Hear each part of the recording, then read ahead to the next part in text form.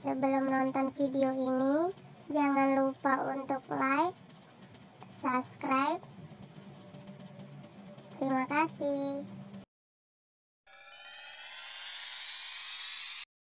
Bismillahirrahmanirrahim Assalamualaikum warahmatullahi wabarakatuh Kembali lagi di channel Umar Arti Di video kali ini kita akan mereview singkat Sebuah mesin planer atau mesin ketam e, Di sebagian daerah itu namanya beda-beda Ada yang bilang mesin serut, mesin ketam, mesin planer Ini barangnya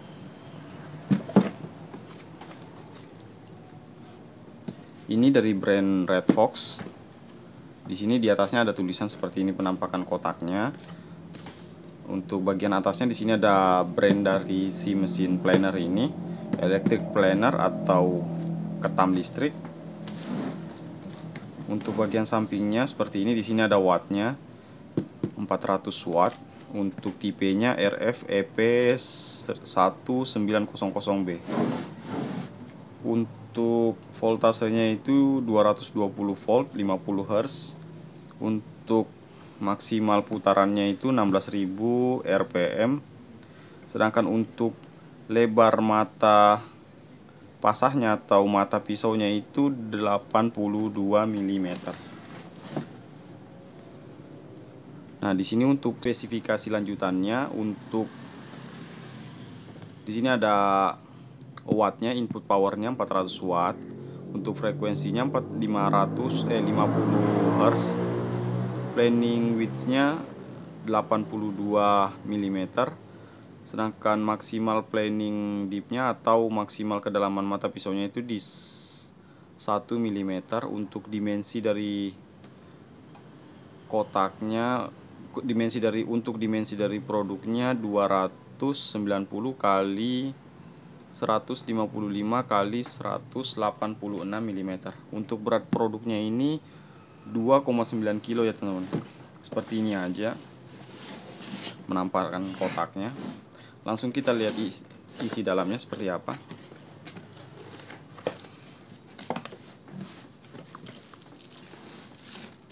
Yang pertama kita dapat manual book dan di sini ada kartu garansinya. Seperti ini. Kita juga dapat bonus ini manual booknya atau buku manualnya. Di sini ada petunjuk pemakaiannya dan cara pasangnya terus di sini kita dapat sepasang carbon brush kita singkirin dulu. E, ini buat di mesinnya nanti. Langsung kita lihat saja isinya.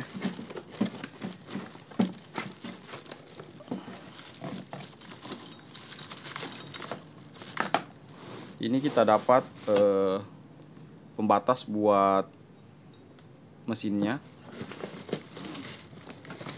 langsung kita angkat aja. Oh kotaknya kita singkirin dulu.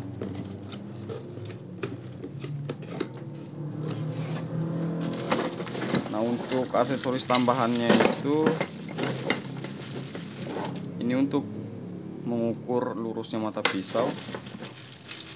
Ini buat ini kita dapat kunci untuk mengganti mata pisaunya nanti dan ini extension atau sambungan nanti untuk mengasah mata pisaunya.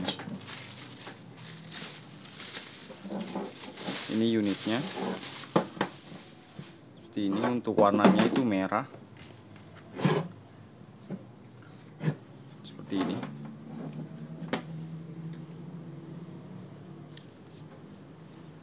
Untuk harga ini harganya nggak sampai 300 ribu ya teman-teman yang pertama kita lihat untuk kualitas dari bodinya. Ini untuk kualitas bodinya lumayan ya. Ini kita pasang dulu di depan sini. Depan sini. Ini gunanya untuk mengunci ininya ya teman-teman. Ini kita pasang saja di sini. Seperti ini nah untuk kualitas dari bodinya sendiri ini enggak bagus-bagus amat. Ya standar lah untuk mesin planer seharga di bawah dari 300.000 ini sudah lumayan bagus ya. Menurut menurut saya ini untuk catnya juga lumayan rapi ini untuk triggernya juga sangat enak lembut. Di sini ada pengunciannya juga. Dan untuk setelan kedalaman kedalamannya juga enak. Enggak cekat-cekat. Terus untuk bagian bawahnya ini lumayan rapi ya finishingnya teman. Untuk mesin planer seharga segini ini sudah sangat rapi menurut saya. Dan untuk mata pisaunya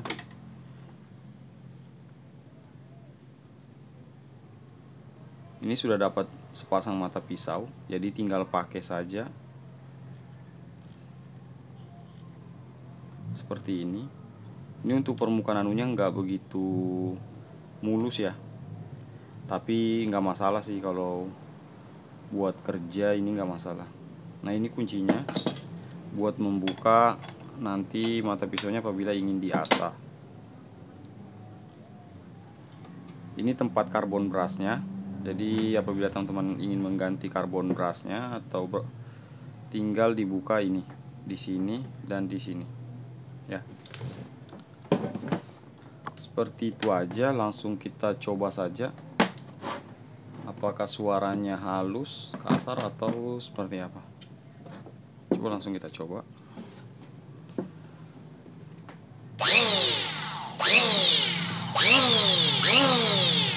Untuk suara ini terbilang halus ya teman-teman.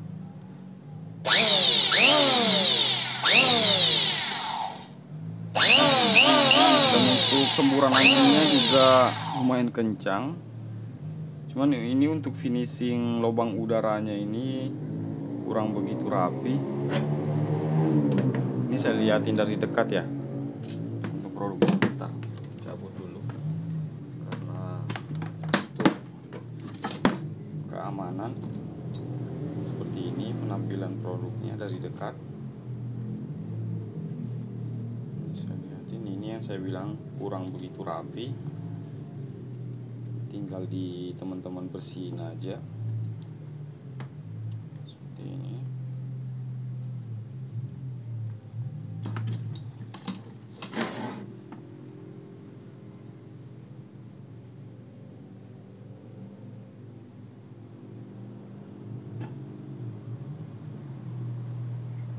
ini untuk pemasangan stikernya nggak rapi untuk bagian bawahnya.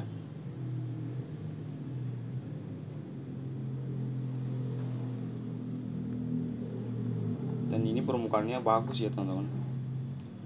Nggak terbilang nggak asal-asalan sih bu- buatnya.